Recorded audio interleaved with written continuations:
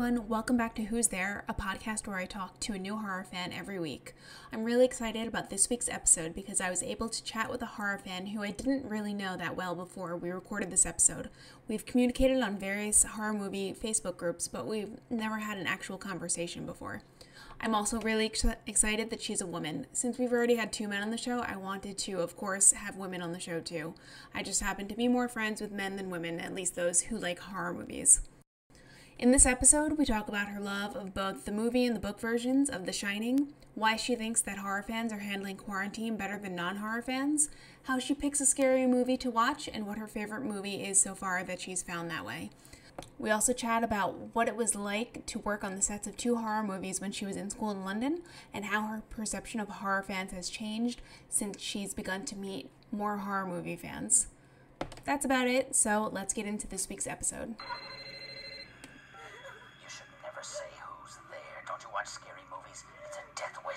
Hey everyone, welcome back. On this week's episode of Who's There, we have Megan, who I know from the horror virgin community. Hey Megan, how are you? Hi, thank you for having me on. I'm excited. Me too. I'm really excited as well. Thank you for being here.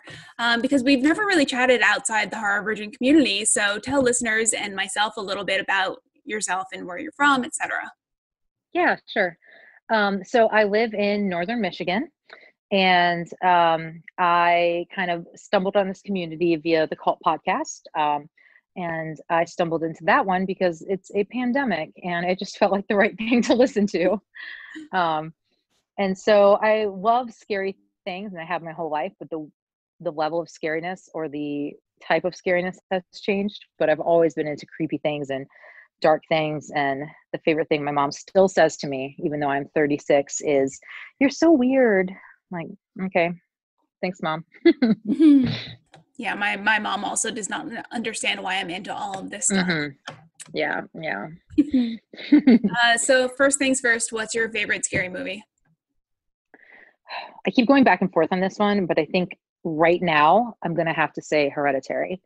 Um, a lot of people are saying it but it scared me and disturbed me in a way that a movie hasn't in a long time and interested me too. Like I think about it in terms of like what's going on. It's not just scary. Um, but I feel like my favorite scary movie can change. Um, but if I'm only allowed to watch one on the desert island, I would probably go with The Shining. Nice. Did you see Doctor Sleep? I did, and I really, I really enjoyed it, which kind of astonished me because uh, I expected not to like it because that's how I go into every single adaptation of anything that I enjoyed and I liked the book. Um, so I assumed it would be terrible, but I think that um, they did a great job. I was really impressed.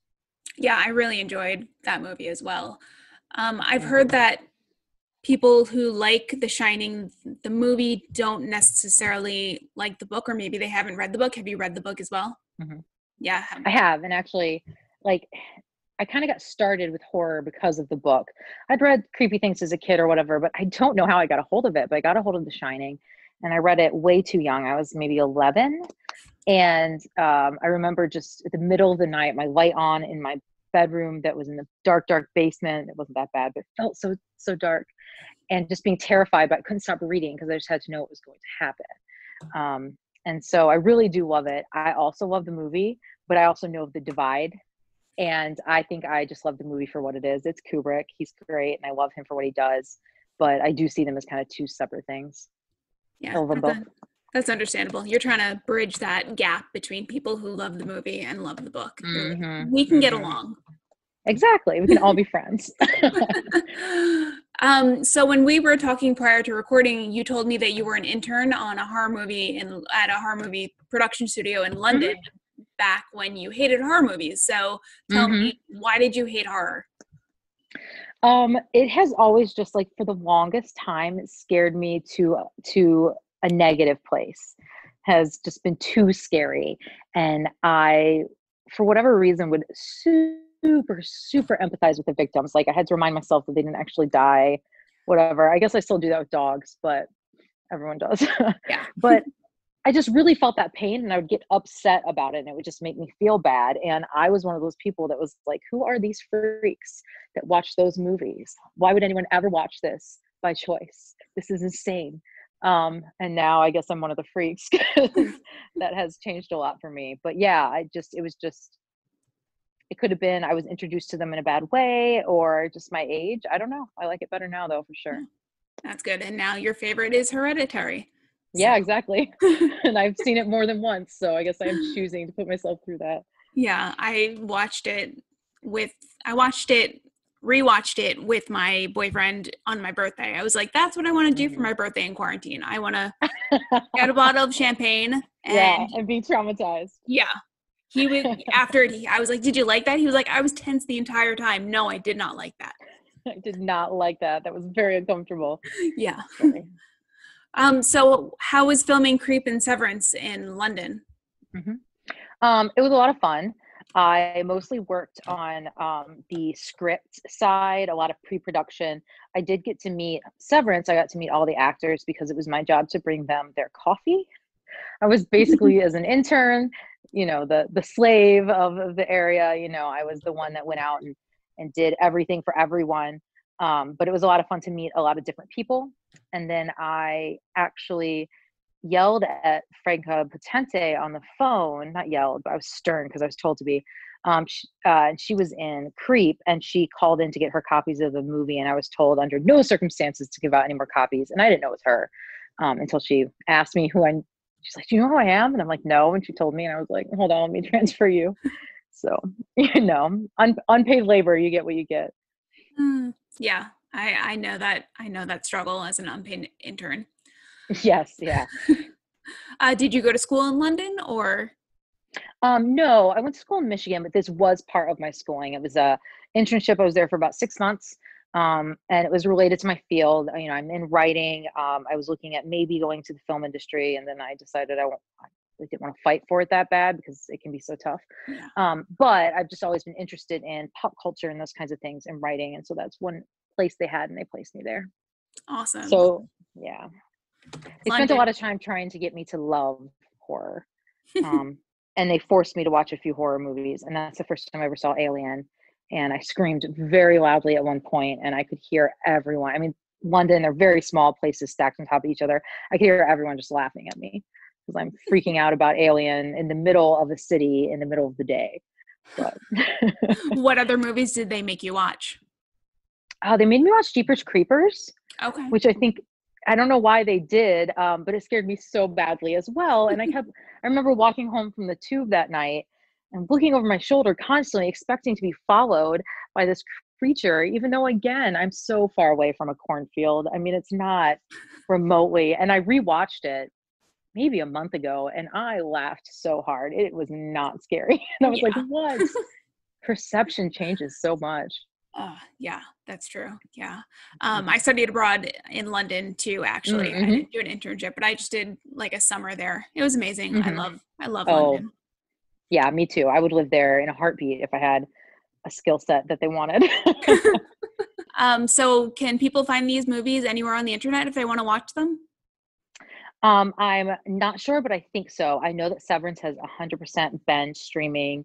I think the last time I saw it was streaming on I want to say Hulu, but I cannot remember. However, they should be available to rent for sure through like Apple TV or something like that for sure. Oh, okay, cool. Well, everyone check those out. I will yeah, absolutely. do that as well. Um, what was it like to film in the London Underground? That sounds amazing slash terrifying. It was um it was interesting because with both of the movies, I saw a lot of behind the scenes things, um, even picking out the actors or whatever. Um, and it's very scary when you see it on TV, but in the moment, it is and it isn't. It was a creepy setting, incredibly, but people were in such a work mode that I'm actually kind of impressed by these actors and actresses that can get into these incredibly scary um, places when they have all these people around them staring at them and they have like food catering off to the side and all the different lights around them. You know, we're only seeing that one picture. And so um, it was really interesting because it wasn't that scary or creepy and I expected it to be, but then I watched the movies and they still scared me even though I knew like how the sausage was made. I was still scared by them. Oh, I'm, I'm better now. that's cool. Yeah. I mean, that's why they get paid to act. So exactly, exactly. I, I could never do it. I acted in high school and I was like, I'm not good at this. Yeah. Mm-mm. No, I would be so self conscious about looking weird. Um, you know, compared to like our method actors that commit to it like nobody's business. So yeah, but they're good. so, do you remember um, what was it that changed your opinion from hating to loving horror movies? How like about how old you were when that mm-hmm. happened? Um, so um, I think I might have been like a year ago. I uh, the the big thing I remember doing it is um it was Cabin in the Woods for me, and everyone said I was gonna love it because I left Joss Whedon, and so I'd already seen a lot of the stuff he'd done, and everyone said it's very smart, it's very kind of meta, you should go see it. I was terrified. I liked the, the second half, but I was still very scared by it. Uh, I just felt so bad for these kids. Um, so I watched that and it was okay, but then after a while, I decided to revisit it and it wasn't nearly scary. And so then that became kind of a movie that I watched fairly often, but that was one of the only scary ones. And then things were just up on Netflix and I started kind of trying different things out here and there. And for some reason, um, it just kind of, I caught the bug. I think I realized that they weren't as scary as I remembered. Um, and uh, two or three years ago, I set myself a book challenge to read scary books for the month of October. And I think I've been reading scary books since then. Uh, so I figured if I'm reading all this scary stuff and I'm used to a lot of these tropes and things, I'm like, it's probably not that bad. And it's not. I mean, I still get scared, but now it feels fun and it's not so overwhelming. What books would you recommend for the listeners? Oh my goodness, so many books right now.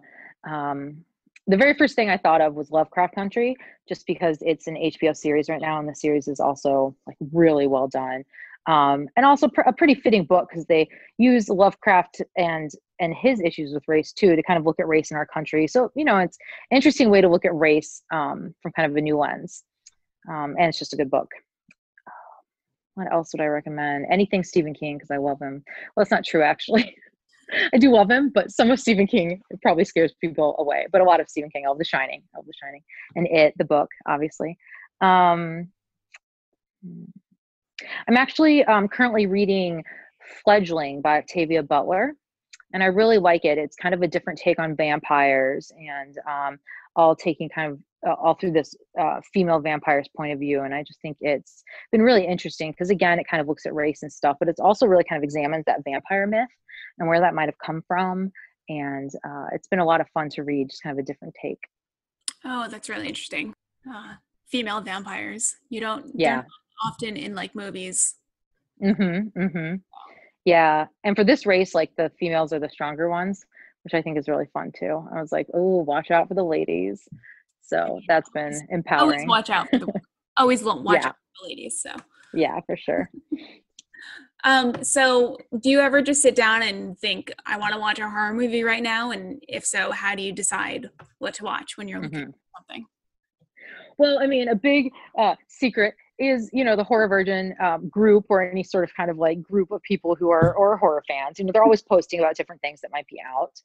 Um, but for me, I think I tend to kind of fall down um, a rabbit hole. So if I sit down, I want to watch something scary. Sometimes I'll think about something else I saw that was good, and I'll watch that director's other pieces. I might end up watching the studio's other pieces, especially if you're going to look at something like Blumhouse, where you know it's tons of stuff.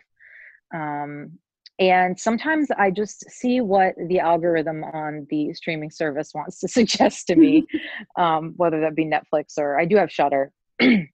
so I have all those options available too. But a lot of times I think it's kind of buzz and chatter. If people are talking about things a lot, I'll gravitate towards them. And then if I like what I saw, I'll look at similar things. Yeah. Good answer. Um, what is what are some of your favorites that you found that way? Is there anything that stands out? Oh yeah. Um, my friend just saw it the other night and was amazed by it. Um, and uh, people are aware of it, but as uh, as above, so below on Netflix. Yeah, that's great. Um, it's a great one and I really like it. And I was surprised by it because I do think it was a random like Netflix algorithm. You know, hey, you might want to watch this. And I was like, okay, whatever. It looks interesting. And then we just got so into it. We were halfway through and we looked at each other, um, my wife and I, and we said, wow, like, why is this so good? It's really interesting. Um, it's just because it's got the extra concepts in there too. So that's kind of one I can think of that's been a, um, a lot of fun. That was kind of a random stumble. Yeah. Have you seen um, uh, The Descent? Oh yes, The Descent. Yes, I have seen The Descent as well. Um, and I did see that after As Above, So Below because I remember thinking like, okay, underground stuff. Maybe I like that. We'll see.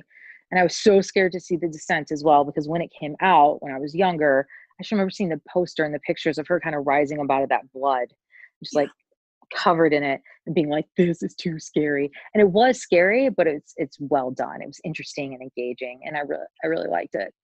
Uh, so you mentioned beforehand that your favorite directors are Jordan Peele and Mike Flanagan. What what mm-hmm. makes them your mm-hmm. favorite?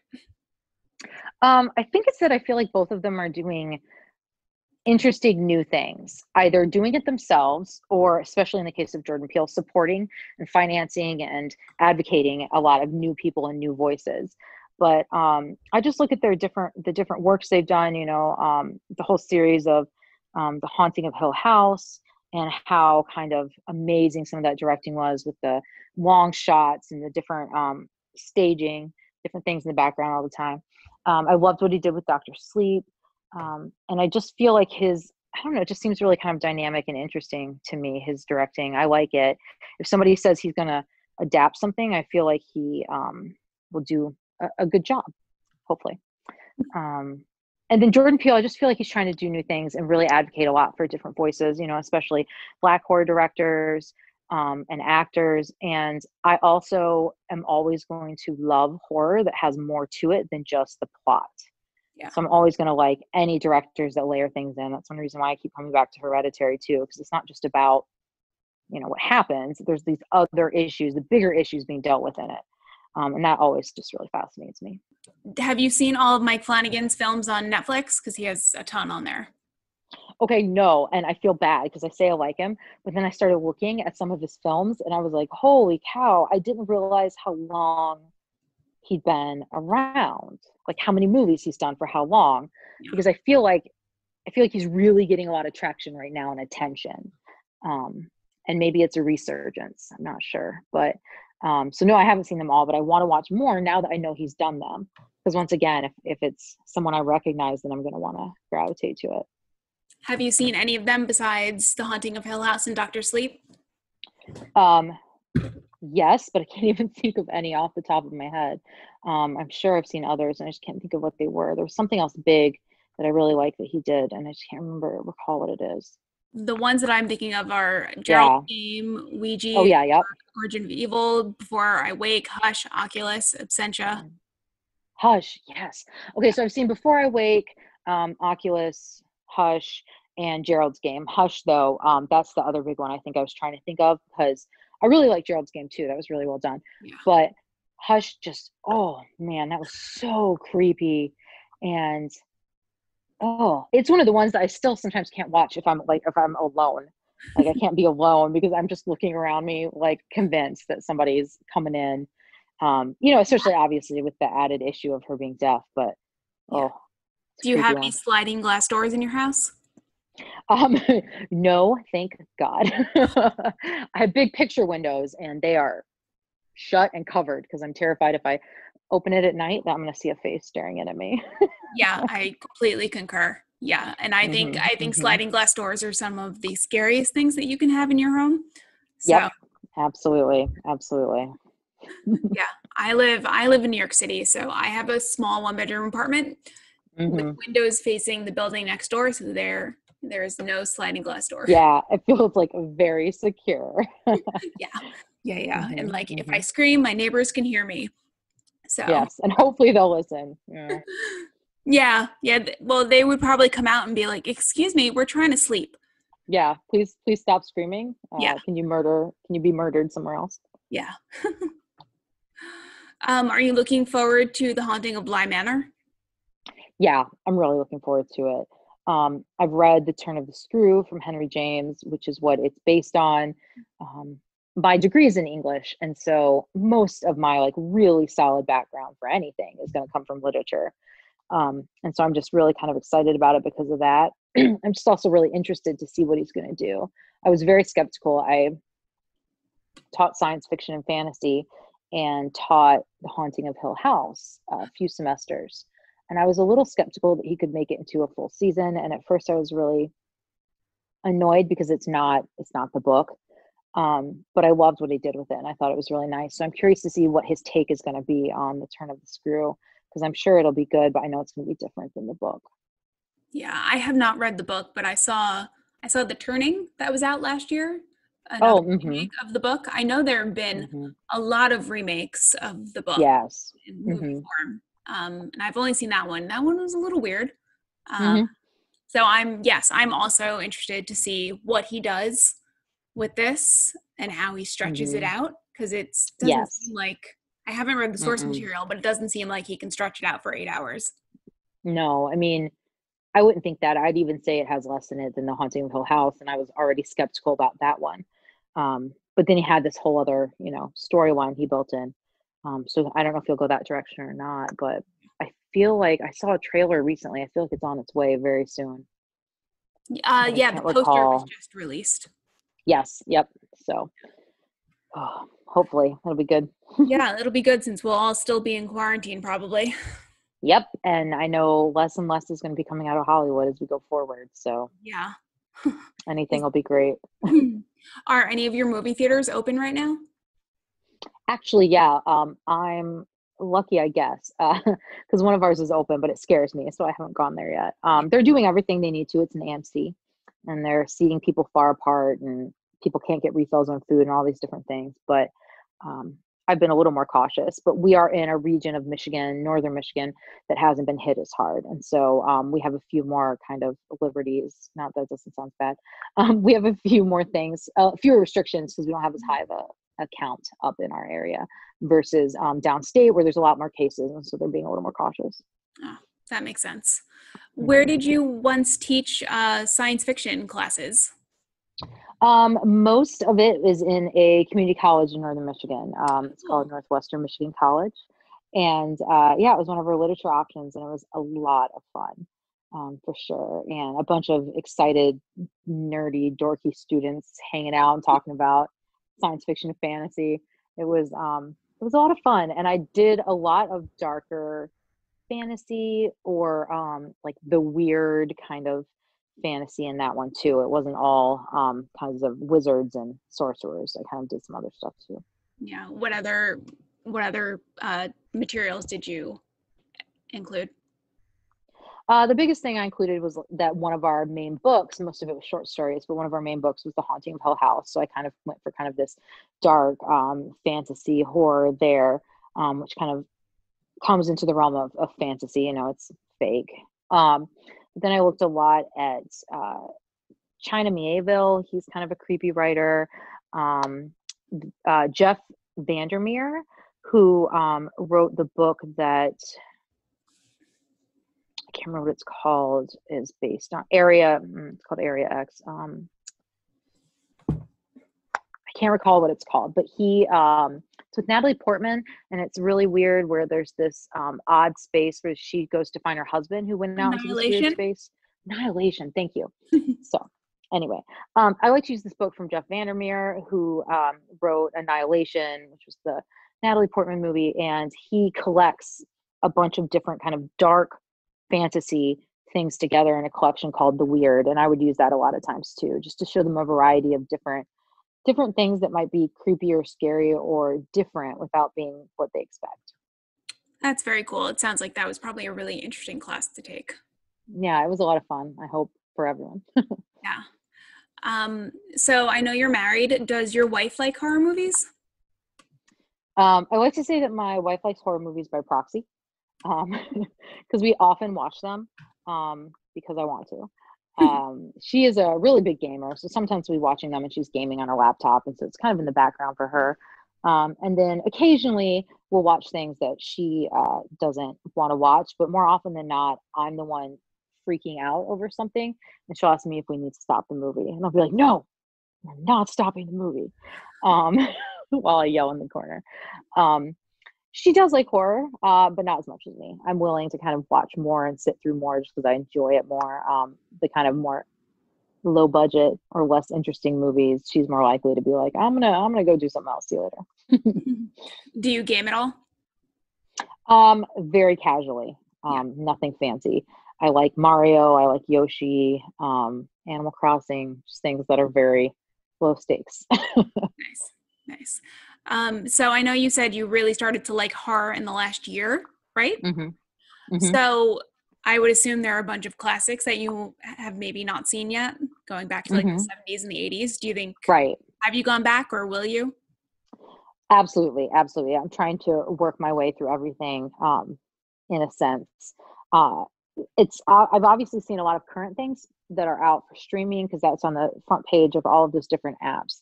However, I'm trying to go back and look at some of those foundational things. I've gone through um, the franchises, not all the way, but I've seen the base, you know, the basics, the first few for like um, Friday Thirteenth and Nightmare um, on Elm Street. I've kind of tried to go to movies that people talk about a lot, but there are still few that I haven't.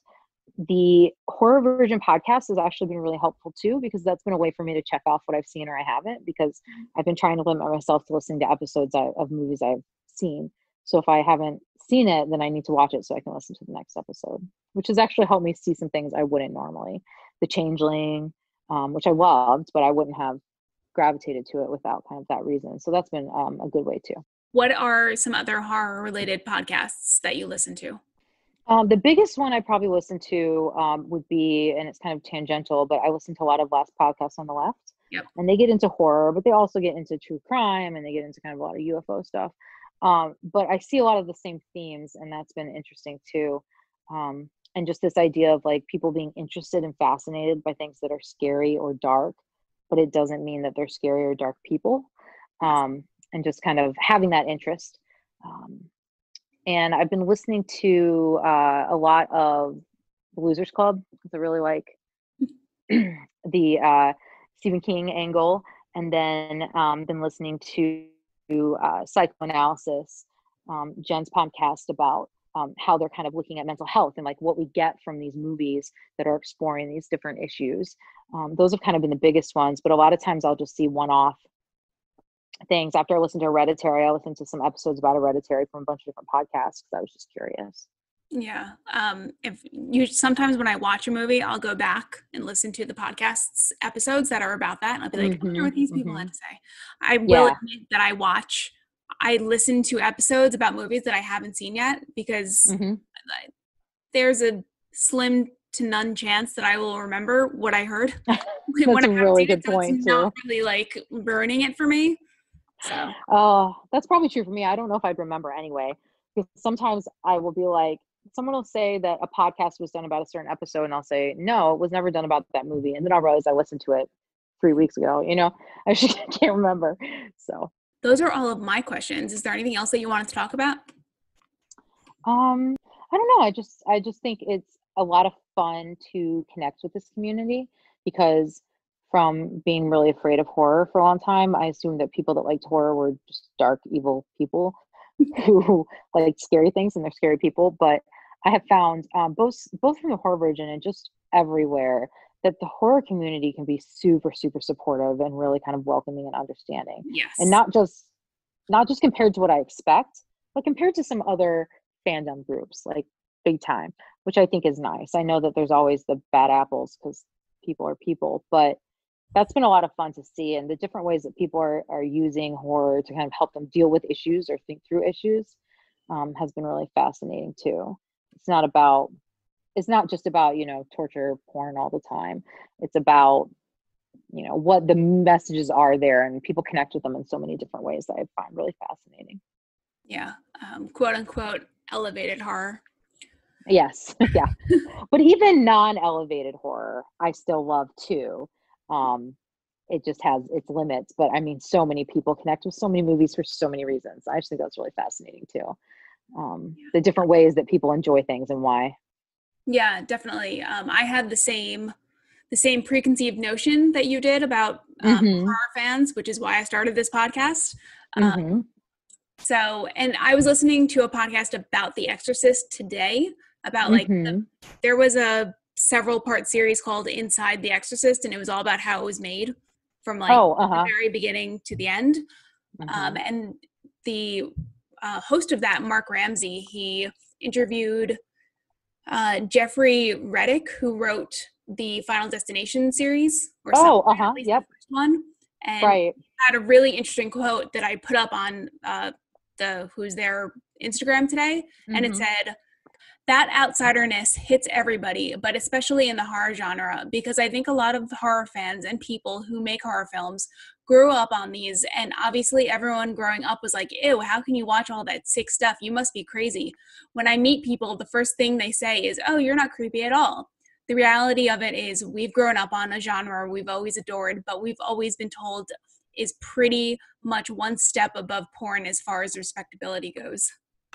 Mm-hmm. I was like, yeah, was like, I hear you. Yes. And I feel like that might also be some of why I didn't watch it sooner because what I did watch scared me. And then I grew up in a very, very conservative household. And um, it just wasn't something people watched. I wasn't really kind of given that leeway. So I just was able to develop these notions. Um, and then once I finally kind of started to explore it, especially under my own control, you know, I'm at home, I can pause it, I can walk away if I need to.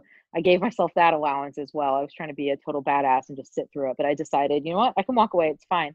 And then I'm like, I discovered that horror is so much more than one thing and that I really do like it. There's lots of different types of horror, and different things. And then, as I said, getting plugged into that community, I mean, some of the nicest people I've met. Yeah, definitely. All right, these are my rapid fire questions. Um, are there All any right. are there any horror movies that you love that people generally don't like? Oh, geez. Um, shoot, I'm not doing a good job with rapid fire. Um, I I don't I don't know. I can't think of one. I'm terrible. Um, I want to say The Shining. I don't think. I mean, a lot of people love it, but in the horror community, I feel like it's a little divisive, and I feel like there's a lot of people that don't like it as well, especially if they like the book. And so that's been one that I have gotten some kickback from people on. Um, if you could remake one horror movie, which would it be? I'd like to remake They Live think that would be cool with uh, a more kind of current take on it. It could be fun to explore a lot of like social themes too, for sure. Nice. Do you hold any unpopular horror movie opinions?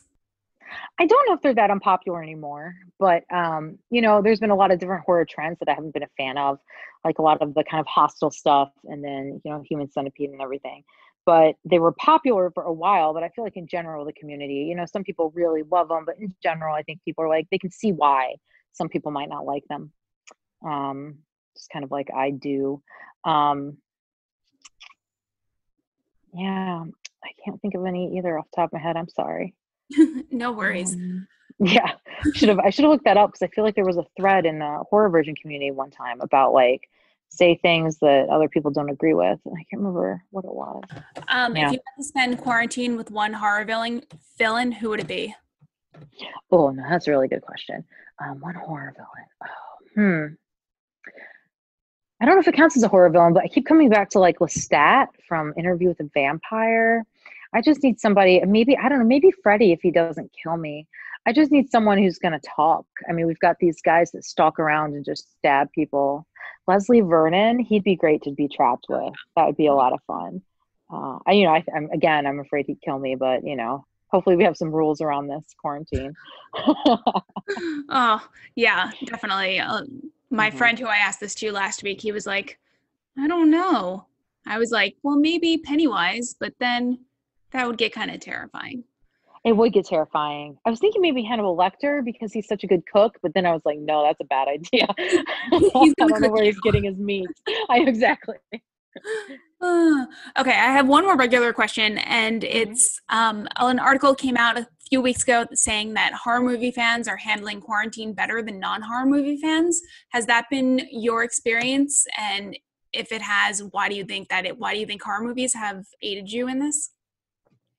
I saw that too, and the minute I saw it, I was like, "Oh, of course."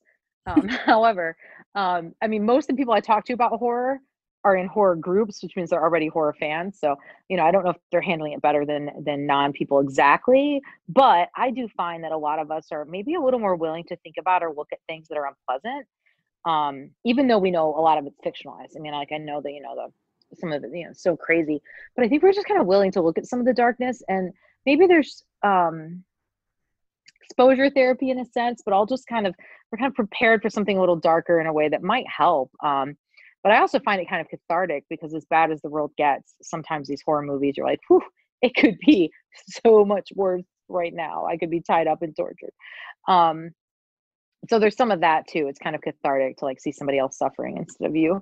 Um, but I think it is a lot about just being willing to look at dark things and think about them and um, not run from them. Yeah, that's a great answer. Well, this has been fun. Thank you for being such a great guest. Um, I've had so much fun. So tell everyone. Well, thank you for having me. Yeah, of course. Uh, tell everyone where they can find you on the internet. Um, so you can find me at um, Megadeath versus Books, which is my Instagram um, account. So you can check me out there. And then um, eventually, I'm going to have a podcast of my own. Uh, my friends and I are going to be looking at um, books about dark topics and looking at why they make us so comfortable. Um, and so I don't have a name yet, but once we get one, I'll let you know. Amazing. That sounds really interesting, even though I I get so scared when reading horror horror books. So I don't. But yeah, it's like the exact opposite of what I used to be. I could read all the scary stuff, but don't show me the movie. all right. Well, I will talk to you soon. Thank you again. All right. Yeah, thank you very much. Bye. That's it for this week's episode of Who's There. I hope you enjoyed my conversation with Megan, and thanks again to Megan for coming on. There are links to stream both Creep and Severance in the show notes, so you should definitely check out both of those movies. As always, we'd really appreciate it if you could take a second to rate and review us on Apple Podcasts and subscribe to our feed wherever you listen to your podcasts. You can follow us on Twitter at Who's There Pod or on Instagram at Who's There Podcast, or you can feel free to email us at the Who's There Podcast at gmail.com if you have any questions, comments, concerns, horror movie recommendations, etc. Until next time, stay scary and wear a mask.